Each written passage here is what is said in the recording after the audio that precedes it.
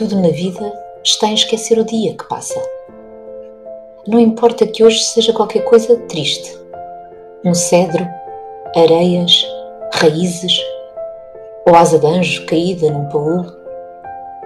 O navio que passou além da barra já não lembra a barra.